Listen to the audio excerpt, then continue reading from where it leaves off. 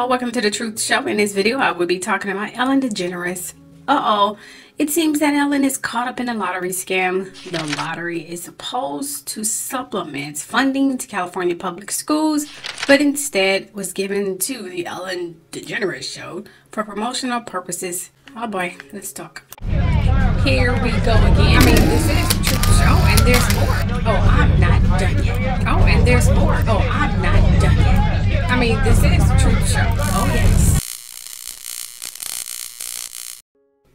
As we all should know, next to Oprah Winfrey, The View, The Wendy Williams Show on holidays, Ellen DeGeneres is one of the most giving co-hosts. But have any of you ever wondered where does all those prizes and so on come from? Oh, and no, to mention how are the publishing clearinghouse winners picked? I will get into that a little later, but first let's talk about this latest lottery scandal with Ellen.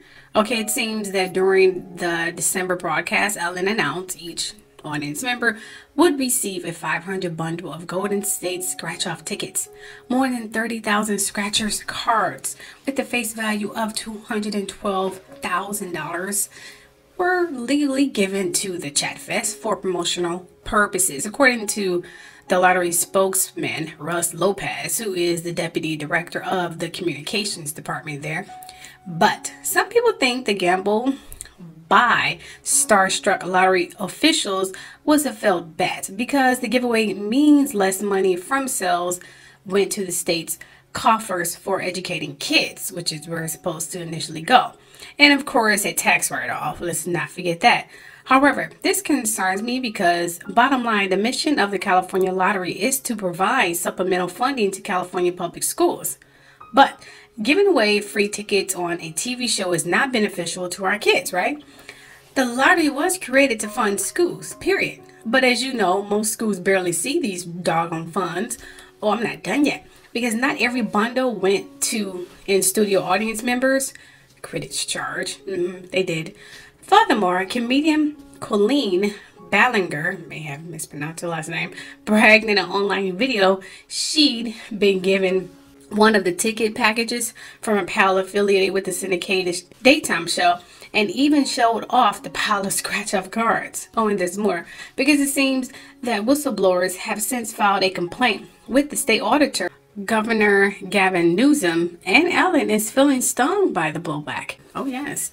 Ellen has been rattled badly by this because she never wants to be seeing this hurting kids in any way. You all know Ellen loves kids. I mean, regardless of what I've heard and said about her questionable marriage, she would never intentionally do this to kids.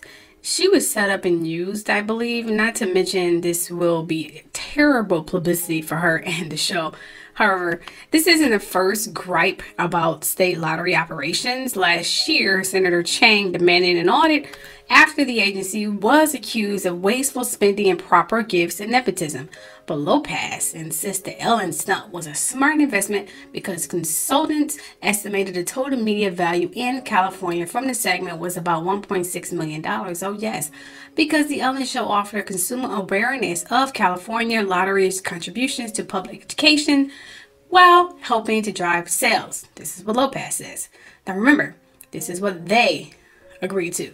The results of this remains to be seen because as we all know, the promotional opportunity allowed the lottery to achieve significant cost savings compared to buying the equivalent in media exposure via a traditional ad buy.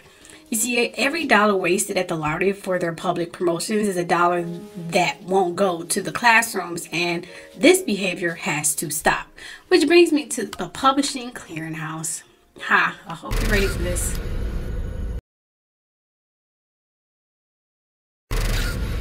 Done a video about this already on Kisha's Gossips and Truths a while ago. And in this video, I talk about the inner workings of Publishing Clearinghouse. I get really deep. Well, you know what? Let's just take a look at this very old video. Okay. You go to the PCH page and you enter, and you have to enter every day. But here's the catch millions of people enter every day, so it will be so hard to win. But guess what? There's a process to the madness. This is also what they say. It seems that Publishing Clearinghouse does not know the winning number until giveaway ends. Throughout the life of sweepstakes, Publishing Clearinghouse assigns super prize numbers to outgoing bulletins and one of the numbers assigned to you while the giveaway is going on could be the winning number. Random drawings, a two-step process is used for random drawings. Incoming entries are pre-qualified either manually by specifically trained contest judges using raffle cages or electronically using a computer. Then on drawing day, all qualified entries are subsequently numbered and a bingo cage is used to randomly pick the winner, with no one having any determined way of knowing in advance of who the winners may be or where they may come from. Mm-hmm. Got a question about Publishers Clearinghouse? Howie's got the answer. Hi, welcome to Howie Helps. I'm Howie from Publishers Clearinghouse, and I'm here to help answer your questions. Let's take a look at what you want to know. How are winners selected? Everyone always asks if there's a trick to winning the Publishers Clearinghouse sweepstakes, but it really is the luck of the draw. Winners are selected randomly by giveaway supervisors and overseen by the PCH Board of Judges. We have no idea in advance who the winners are. It's just as much of a surprise for us as it is for you.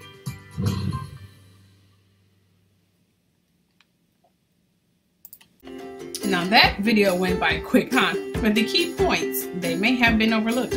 First of all, he said something after computer selected subtitle. He said that it's selected by supervisors and overseen by the PCH Board of Judges, meaning that the only thing that's computerized is how the entries are taken. Everything else is selected by people.